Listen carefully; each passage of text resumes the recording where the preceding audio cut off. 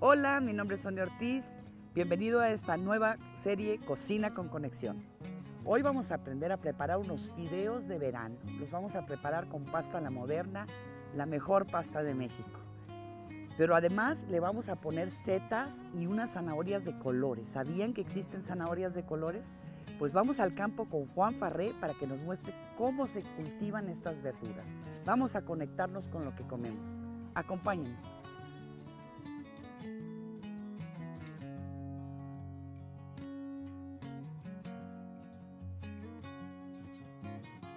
Pues ahora venimos aquí a colectar unas setas y zanahorias y nos encontramos con Juan Farré y Betsabe Valencia.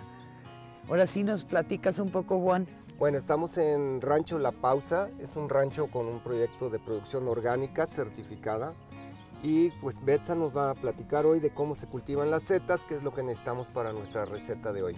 Nuestro primer punto sería nuestro punto de pasteurización. Nosotros para la seta necesitamos un sustrato, utilizamos la paja, pero esa paja tiene que pasar por un proceso térmico que se llama pasteurización. Lo que ven en la parte de enfrente es los tanques de pasteurización en los cuales el vapor se calienta hasta 90 grados centígrados, se pasa a los tanques donde está colocada la paja, estos suben a 90 grados centígrados y se dejan pasteurizar durante dos o tres horas. Bueno, pues este es el inóculo que nosotros utilizamos, este se elabora aquí, tenemos un pequeño laboratorio, este es seta blanca y se hizo el 31 de marzo. Y esto es lo que realmente es el hongo. La mayor... ¿Esto sale de las setas que comemos nosotros? Esto es la seta. Lo que nosotros comemos es el cuerpo fructífero, que es como el aparato reproductor del hongo. Este es para hacer esporas y poderse reproducir, pero el verdadero hongo es todo el micelio. Entonces, esto se mezcla con la paja, este se va a reproducir a lo largo de la paja y cuando ya no tenga alimento, entonces hace el cuerpo fructífero. Y eso es lo, que, nosotros... que nosotros comemos. Bueno, vamos entonces adentro. Esta ya es la zona de incubación y fructificación. Nosotros tenemos esta malla sombra porque la seta realmente no requiere una cantidad de luz muy grande porque el, el micelio se puede estresar. Esas bolsas que ven al principio de acá se sembraron ayer. Lo único que se hizo fue transportarlas. Lo que hacemos es llenar todo el estante pues vamos a ver si hay algo que cortar, ¿no? Sí. Pasamos por el proceso de siembra, viene el proceso de incubación y fructificación. Esta bolsa ya se invadió por completo del micelio del hongo. Estas son las primeras etapas y se conoce como primordio. Y después de siete días, este alcanza su madurez ya y la etapa comercial y se puede cosechar. ¿Y aquí se salen de la bolsa porque tiene hoyos o Sí, la bolsa antes de la siembra está previamente perforada porque la seta hace un proceso de respiración. Entonces, si tú no la perforas, no se puede dar. No se puede dar, necesita. Sí, se hace adentro una fermentación. Bueno, pues ya cuando alcanzó su etapa comercial, entonces lo podemos cosechar. Lo único que es, la seta no necesitas cuchillo ni nada para cosecharlo, lo único que se hace es que se gira por completo el tronco y retiras por completo todo el manojo de seta.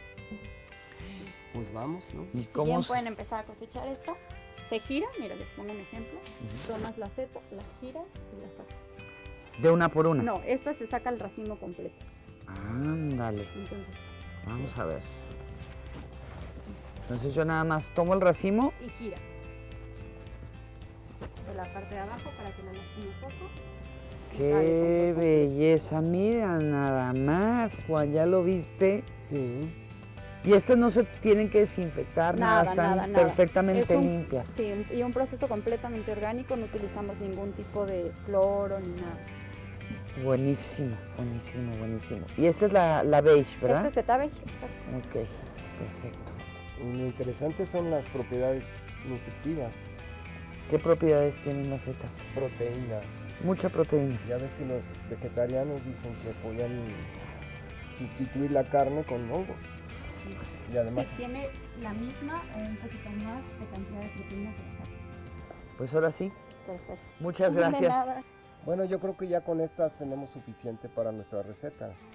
Pues vamos por las zanahorias, ¿no? Faltan las zanahorias. Adelante. Vamos. Pues muchas gracias. Gracias. Sí.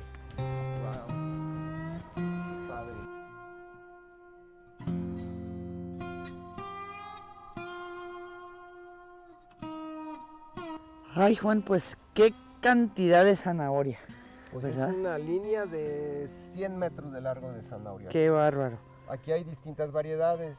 Se siembran de colores amarillas, púrpuras, naranjas, y unas color de rosa. Ahorita vamos a ver aquí qué, qué es lo que sale.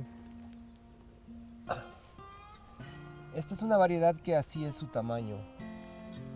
Es, no es como las largas que conocemos normalmente de jugo, sino es así.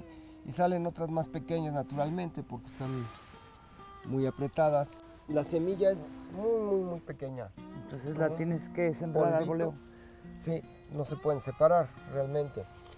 El chiste es este, irlas aclarando conforme van creciendo y dejándoles espacio a las, a las que se quedan.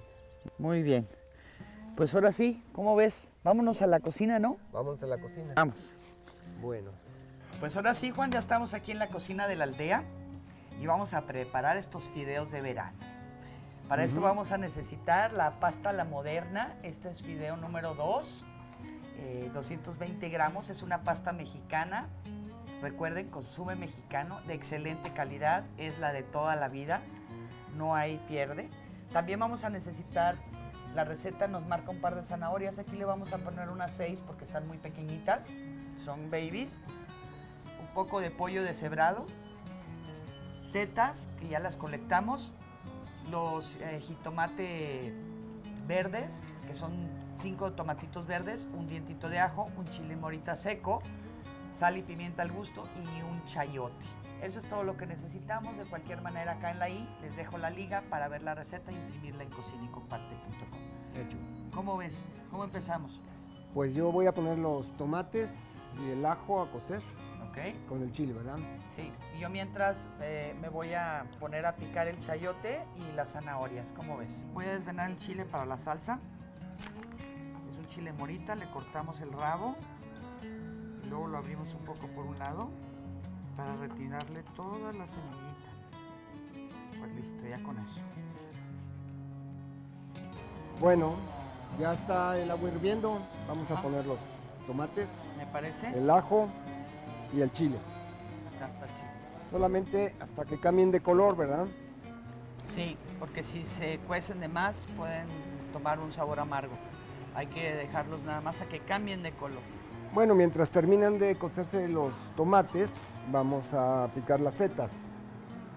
Mira nada más, como joyas. Esas no se tienen ni que lavar, ¿verdad? Porque vienen No. de la bolsa que estaba bien esterilizado todo, pasteurizada la, la paja, ¿no? Exactamente. Vamos a quitarles el El tallo, tallo más, más, más grueso.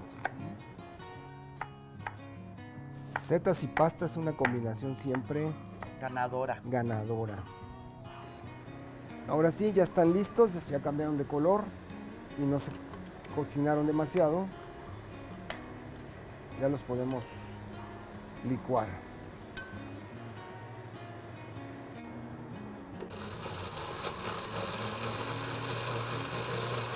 Pues ahora sí, vamos a empezar a dorar la pasta. Agregamos un poco de aceite. Vamos a dejar que se caliente un poco para dorar nuestros fideos. Esa es una costumbre muy mexicana y quedan con otro sabor y bien ricos. Claro.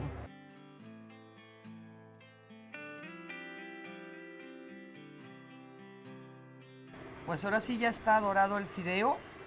A ver, Así Juan, es. pásame la salsa.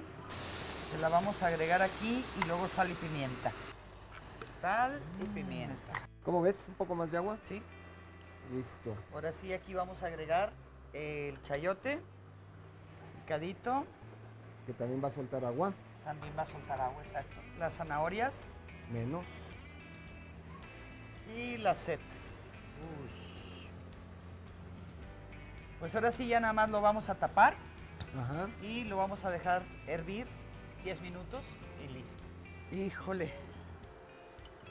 Juan, este fideo ya está. ¿Cómo ves si me ayudas poniendo un poco de pollito acá?